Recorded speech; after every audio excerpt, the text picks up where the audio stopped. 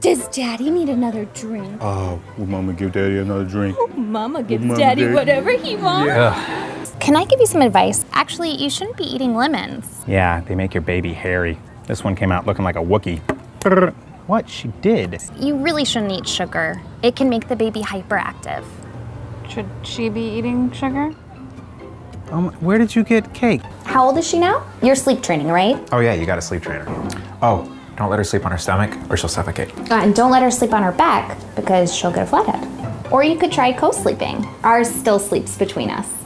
Yeah, it's super great.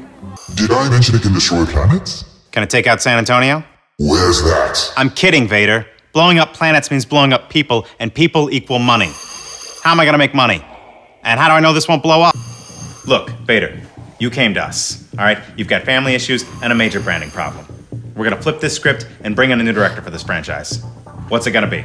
But doors look so hard to use. They're not. If you can twist a knob, you can use a door. Doors are so easy they can be opened and closed by virtually anyone, including old people, toddlers, intelligent monkeys, velociraptors, people with two hands, people with one hand, people with crab hands, telekinetic babies, sentient robots, evil robots, people trying to break into your house, and some dogs.